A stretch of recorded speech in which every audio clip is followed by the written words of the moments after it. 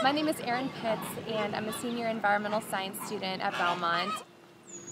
So our research is based on foot preference in flamingos. The research that I'm doing right now, it might not be, you know, revolutionary, but it is really cool because some basic foundations in animal behavior might lead to more complex questions in the future.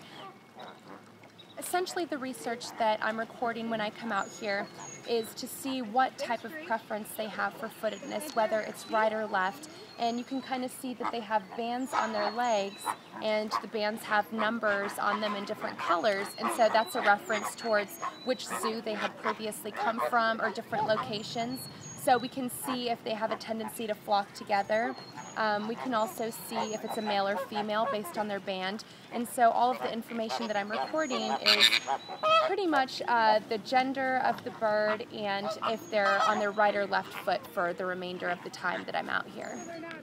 The thing that I've enjoyed the most um, just studying the flamingos is that I personally am really interested in ornithology, which is the study of birds.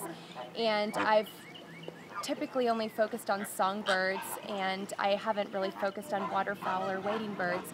So it's kind of a new perspective for me to come out here and just being able to observe them. And you know they're so beautiful. Just to be able to see the interactions that they have with each other has been really interesting and you know just rewarding to come out here and spend time in the sun watching birds. So